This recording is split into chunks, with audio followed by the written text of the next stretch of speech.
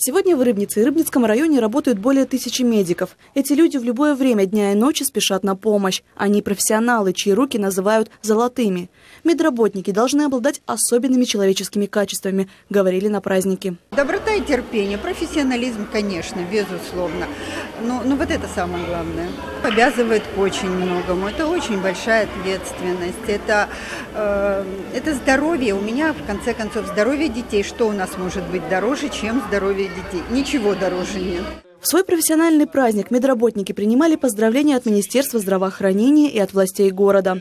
Говорили не только о проделанной работе, но и о планах на будущее. Воплотить их в жизнь удастся при поддержке Российской Федерации. Мы хотим построить новое здание скорой помощи.